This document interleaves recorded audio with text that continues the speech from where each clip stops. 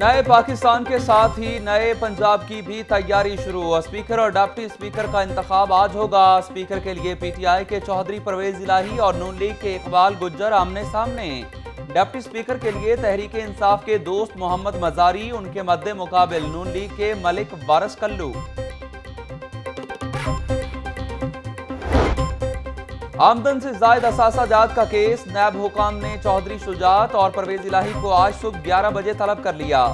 As guard company case کی تحقیقات کا بھی دائرہ وسیع۔ نیب نے امریکہ میں تعینات، پاکستانی سفیر علی جہانگیر صدیقی کو ستائیس اگست کو بلا لیا۔ اور سانتھا میں چندہ نامی شخص کی سہیل اور منٹو پر فائرنگ کا معاملہ۔ فائرنگ کی فوٹیج لاہور نیوز کو موصول ہو گئی۔ چند روز قبل ملزمان چندہ اور یاسر نے سہیل پر فائرنگ کی۔